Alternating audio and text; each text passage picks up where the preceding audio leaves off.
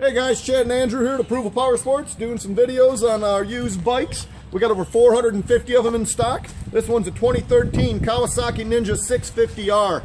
This bike's not even broken in, Andrew. 1,854 Wow. miles. Sharp bike in electric blue. It's got the CRG levers. It's got two brothers exhaust. This one's a perfect 10 out of 10. Why buy new? You can save thousands. And it's only got 1,800 miles on it. It's been inspected, certified, includes a six month warranty. It's a lot of bike for $4,900. Visit our website. It's approvalpowersports.com. Call today, ride today.